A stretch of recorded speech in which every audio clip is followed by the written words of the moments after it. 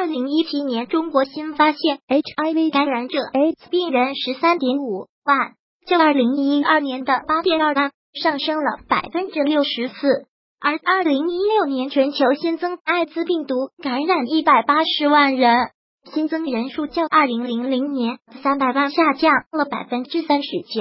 全文一千九百七十字，阅读约需四分钟。一个季度增加四万艾滋感染病人。但有比爱情告急更麻烦的问题。从第五届全国艾滋病学术大会上传出的数据，二零一八年第二季度，中国新发现艾滋病病毒感染者和艾滋病人四万零一百零四例，其中性传播占百分之九十三点一。一个季度增长四万人的消息，在社交媒体圈不断传播，引起人们对中国艾滋病暴增的担忧。新发现 HIV 感染艾滋病人四万余人是怎么样的水平呢？这个增加大吗？艾滋病例不断上升，增长点又在哪儿？艾滋病先是病毒感染携带者 HIV 感染，然后经过发展成为艾滋病人艾滋病人。作者注：有李树梳理了中国疾病控制中心报告的艾滋病疫情数据，从数据分析的角度提出解读。中国艾滋。低水平流行下的增长压力。目前，中国艾滋病整体上仍处于较低流行水平。截至二零一七年底，报告存活的 HIV 感染者总数占全人群比例百分之零点零五。但艾滋病人基数在逐年增加。最近几年，中国每年报告新发现 HIV 感染者艾滋病人均超过十万例，且一年多于一年。至二零一八年六月三十日，全国报告现存活艾滋病人和感染者超过八十二万人。二零一七年，中国新发现 HIV 感染者病人十三点五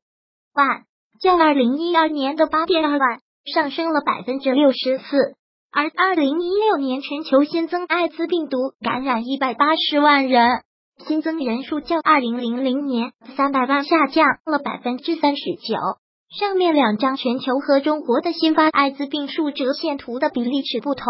拼在一起容易产生视觉误导。但近年来，中国艾滋病发病、死亡等各项疫情指标持续上升是不争的事实。增长原因不是某类群体那么简单。随着报告艾滋感染病例数量的增加，舆论圈产生了各样的原因剖析，例如高校男童没有入境限制的。但有李树通过梳理全国艾滋病流行时空维度上的数据，发现增长的原因很复杂，而不是简单的归咎于某类群体。报告艾滋病数量的上升，一方面和全国扩大监测有一定关联。二零零八年是全国艾滋病病毒检测量仅零点四五亿人，十年来检测力度逐渐加大。但二零一六年，中国一点六九亿人次接受艾滋病病毒检测。另一方面，在每年报告的新发现感染艾滋病人中，有一个很明显的变化：急性传播的艾滋病例占比在逐渐扩大。此外的其他途径传播的病例占比在逐渐缩小。性观念的逐渐开放和性教育、性安全教育的缺乏，部分影响着性传播，成为近年艾滋病的主要增长点。中国疾病控制中心报告的传染病数据显示。不只是艾滋病，与性相关的传染病报告数近年来也在增加。二零一七年梅毒、淋病两类性病报告发病人数在全国甲乙类传染病中分别排名第三、第四，排位均有上升。除了艾滋病传播途径占比结构随时间的变化，还有中国各地艾滋疫情随时间的聚集发展。根据研究基于地理信息系统的中国艾滋病聚集性流行的空间分析的结果显示，中国在不同时期艾滋病聚集的地区也在发生变化，新的疫情聚集区及其聚集格局不断出现。早期引起局部地区艾滋的流行的传播途径较为单一明确，例如一九八九年云南因吸毒爆发的艾滋疫情，但随着时间的发展，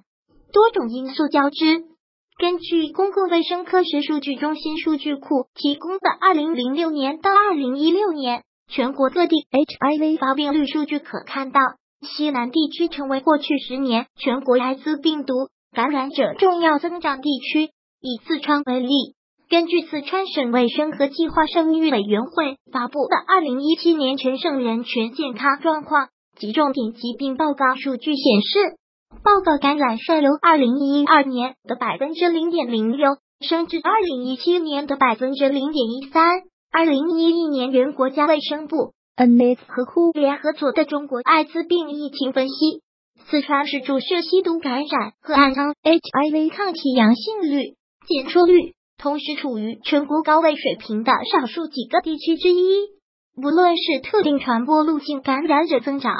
还是个别地区的高流行率，如今中国艾滋病的流行增长已不再是简单的由某个易感染群体造成，其背后的社会。教育及环境问题都需要深究，比增长更大的压力。近百分之三十艾滋病人发病前不知感染。中国艾滋病疫情压力，除了传播途径感染数量的增长和地区聚集高流行，还有一部分可能来自不确定因素。一方面，直到发病才被发现染病的情况越来越多，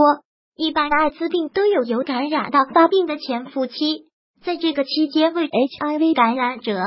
发病后才是艾滋病病人。从二零一二年到二零一七年，当年新发现 AIDS 病例占当年新发现 HIV 感染 AIDS 病人数量的百分之二十八到二十九左右。随着 HIV 感染 AIDS 病人基数增大，这种感染期未被发现的绝对人数正在增多。以二零一七年为例。全年发病数五万七千一百九十四例，其中有既往 HIV 感染者本年转化为病人的一万八千二百三十一例，也就是还有三万八千九百六十三例病例可能在感染期没有被发现，而这一数字在二零一二年仅为两万四千零三十五。另一方面，在所有艾滋感染传播途径构成比中。传播途径不详这一分类虽然近年一直维持在低水平，二零一二年到二零一七年每年占比在百分之零点四到百分之一之间，但看绝对数，二零一二年近四百六十例，而到了二零一七年达到一千三百九十六例。当感染者不知道自己已经感染或不知道从何处感染的时候，他他在发病前就不能及时接受减缓病情发展。